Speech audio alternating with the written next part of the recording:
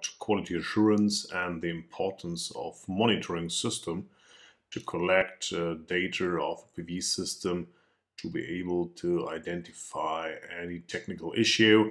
What you can see here is an example of a monitoring system uh, for a PV system which is located at the environmental campus in Birkenfeld in the western part of Germany.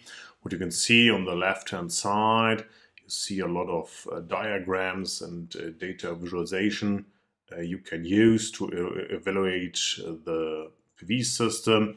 In the main window, you see the actual data. In this case, uh, you see the energy production and the radiation of the 7th of June 2020. Um, in the bottom, you see actual uh, data or the sum of the data shown in the diagram. And what we want to do is now we'll go through the different diagrams to understand what they show and what they are for to analyze the PV system, to evaluate the quality of a PV system and to identify any issue, malfunction or uh, failure. What you see, we have selected the energy generation of our uh, system. Uh, main window now shows in red uh, the power over uh, the time. You see beginning um, of energy production in the morning at uh, half past five and then we see uh, the sunrise uh, shown in, in, the yellow curve representing the, the irradiance and then in the evening you see the, the sun set uh, at uh, half past nine. What you can see now, on the one hand, you, you see for each five minute value, you see the power uh, and the irradiance, so the power in, in kilowatts and the irradiance in, in watts per square meter um, and you can go along and have a have a look at the data. You see it, it has been a cloudy day on the 7th of June with uh, sunny parts and then cloudy parts. So you see uh, in the afternoon fast change of sunny and uh, cloudy parts. Uh, a large drop due to uh, heavy clouds at 1650. Uh, then again rise and that's a typical cloudy day. And what you can do now is you can go back in time on the one hand to have a look what has been the um, uh, distribution of the power and radiation uh, in the past. You see 6th of June, again, cloudy day. And if you go back in time, uh, you are able to see different uh, characteristics of days. You see still uh, cloudy days. This was a sunny day with just minor clouds. You see these ripples in, at noon, but this is more or less a clear sky day. You see this fast increase on the 2nd of June, uh, just minor clouds which lead to a, a drop of the power and the irradiance. Uh, one important issue is that the, you see the different scale of the axis you see on the left hand side, that's the power axis, and the right hand side, that's the radiation or irradiance axis. And uh, the scale is in this manner that the yellow curve is always uh, above the red curve, so that you see, can see the uh, the difference of both curves. They don't lie above each other. Uh, the axis are scaled that you can see both curves, that you can see the characteristics.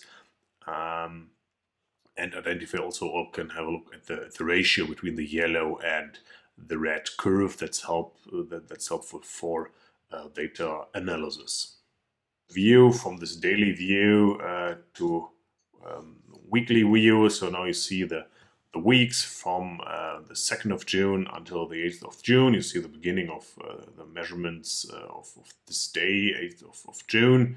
Uh, so that's uh, today. Um, so you, you see that the data is aggregated to hourly data. we've had five minute values on a daily view, but now we see the aggregation to hourly data so you can see what has happened in the last week.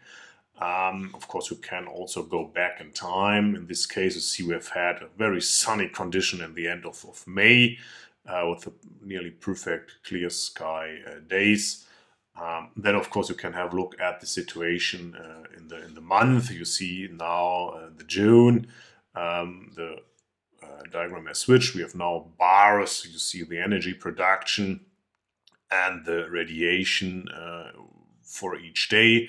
For example, on the 6th of June, you see we've had an energy production of 211.23 kilowatt hours and a radiation of uh, 5,188 watt hours per square meter. So now we're talking about energy values, not um, uh, power values. And then again, you can go back in time and have a look at what has been the pattern of the energy uh, production in the uh, different months.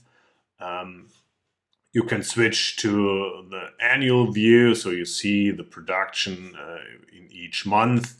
So in this case, for 2020, you see we've had in May uh, very good weather conditions, uh, energy of nearly uh, 7,500 kilowatt hours, and a radiation of 190 kilowatt hours per square meter. Um, if you go back uh, to 2019, you see the typical pattern for PV systems in uh, Central Europe. You see the smaller values in, in, the winter month and the increase during the spring. The largest values in June, July, uh, due to high radiation values, and then the decrease of the yield uh, in, in, autumn until we get the smallest values in, in December. And finally, you can switch to the uh, unlimited view. So uh, you see the energy production of the whole um, system per year. So you see the system has been installed in 2012. That's the beginning. And then you see the annual energy production and the annual radiation um, uh, for 2013, 14, etc. You see um, in 2015 that has happened something because this uh, red energy bar is significantly smaller compared to the other uh, bars uh, for the different years. So you can do an analysis why is this red bar uh, so small compared to the uh, yellow bar uh, regarding the radiation. And you see 2018, the best year in this in this period with the highest yield, 2019 even on a higher level. Um, and um, that helps you to understand the long-term patterns uh, of this uh, PV system. If you want to have a look at the technical configuration of the PV system, what you can do is you can click on this wrench icon at the top, and then you get the technical data. Uh, in this case, you see a picture of this uh, PV system at the university.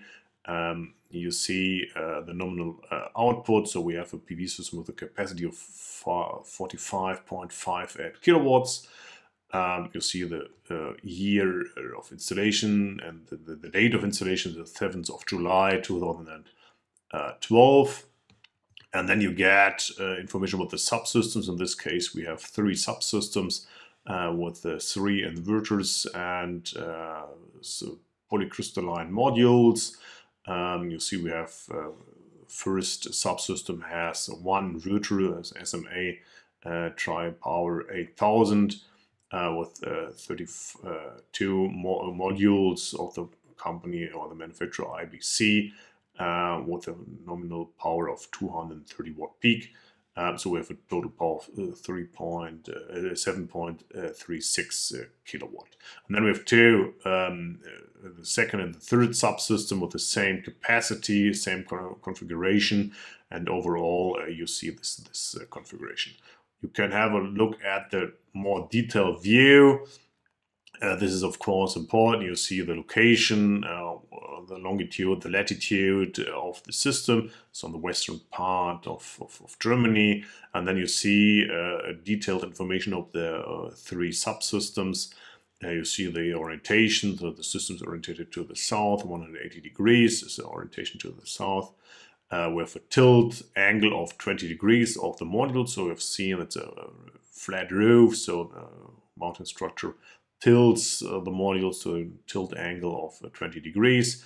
And then what you um, see is what is uh, the um, interconnection of the modules. In this case, uh, for the first subsystem, we have one string and 16 modules connected in series. And uh, the second and the third um, subsystem, they've two different configuration due to the um, configuration of this inverter. In this case, this inverter has two MPP trackers, so you can connect two different um, um, PV generators uh, to this inverter. First, we have uh, 24 modules connected in, in, in, three strings, which are connected to the first uh, input. And then there's a second input with 11 modules connected in series and it, connected in, in, one string, which are connected to the second input of this inverter. And you see this is the same configuration for the third subsystem. Again, 24 times 3 modules and 11 times 1 um, uh, modules connected to this inverter. And overall, we have 83 modules which are connected uh, to these uh, inverters um, and form this uh, subsystem. Do is uh, you can export all the data um, for further analysis. So, for example, if you want to take a screenshot, um, you can select uh, this icon and uh, download this these images. On the other hand, there's an, um, the opportunity to, do this Excel export of the data, so you are able to um, analyze uh, data by using Excel, for example, um, as this monitoring system is not able to do all um, relevant analysis you might need for a malfunction analysis. Um, so it's very helpful if this monitoring system can export your raw data.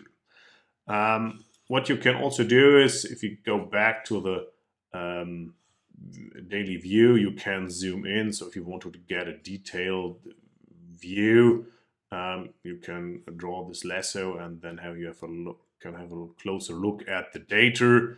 Um, you can also have a direct view here at the bottom of this window at this uh, raw data. See this red crosses marked that there are is, is no information, and then um, you see in the beginning. Uh, in the morning, 5.25, uh, you see the beginning of the energy production, the inverter turns on, and then we have this uh, energy production of this of this inverter. Um, so that's again very helpful if uh, the system is able to provide you more detailed information um, to do this uh, evaluation of this uh, PV system. Typical weather patterns uh, uh, during the seasons. Um, so first of all, let's have a look at the um, 22nd of uh, April. You see that's a perfect day, perfect weather conditions. You see a clear sky day. There are no clouds. Uh, you see both uh, curves run uh, the same way. Um, and uh, you see the largest energy production which is possible on, on this day.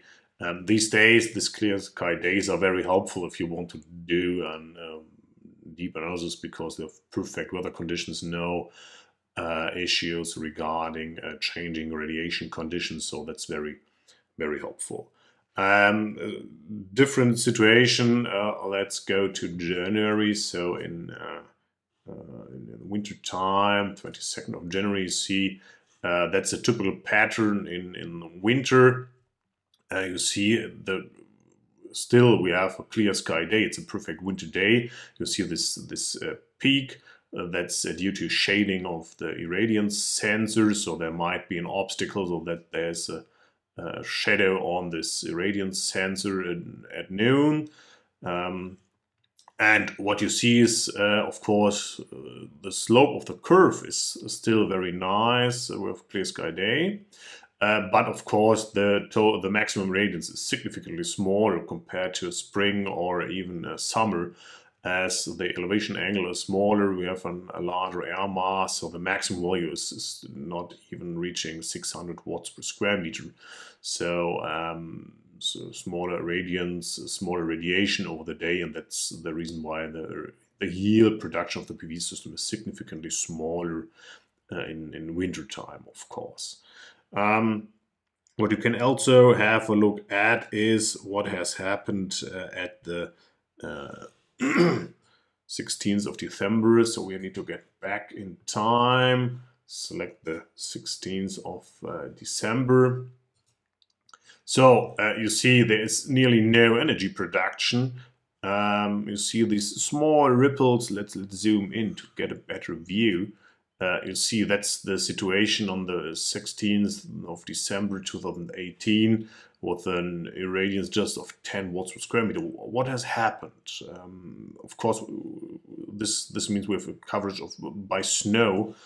Um, in this case, so the, the irradiance sensor is covered, and of course the modules are covered with snow. There is snow. There is no energy production if you go back to the 15, so there was everything uh, rather fine. We've had a cloudy day uh, in December 2018, everything's fine. And then we've had snow during the night, and then you see this snow coverage of the PV modules. And then what you can also see is that uh, here on the 17th of, of uh, December, um, you see we have a high irradiance, still cloudy, but uh, the, the, we don't have any snow coverage of the irradiance sensor.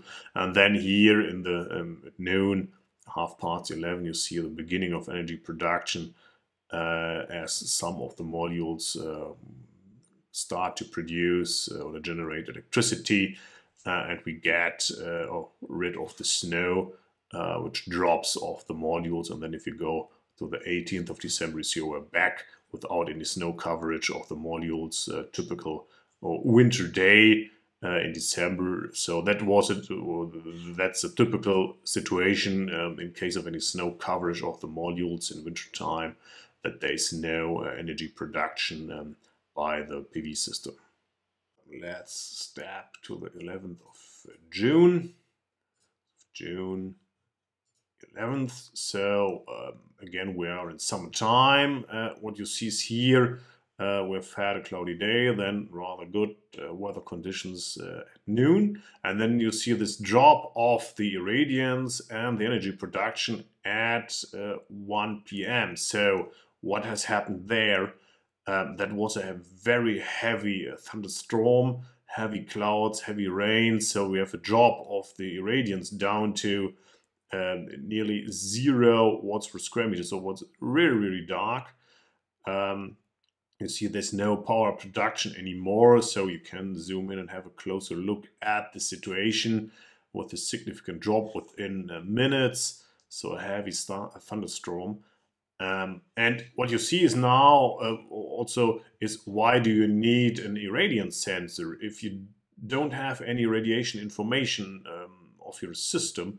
uh, you cannot decide what is the problem. Is there any technical malfunction due to the drop of the power curve or uh, are there other reasons? Uh, by using uh, the irradiance information, you know, okay, the irradiance has dropped, uh, then of course the power must also drop. So there's, uh, that's a, the reason that we have a severe weather condition uh, with this heavy uh, thunderstorm and there's no technical issue for systems you don't need to react and you see at uh, the afternoon at the 3 p.m we are we're getting uh, coming back to the energy production state so that uh, the system is producing on a low level. Still due to heavy uh, heavy clouds on the sky. And if you go one step further you see um, everything's fine with the system. Uh, the power curve uh, runs synchronously to the uh, irradiation curve, uh, but still you see we have had uh, um, heavy clouds uh, on the 12th of uh, June 2018.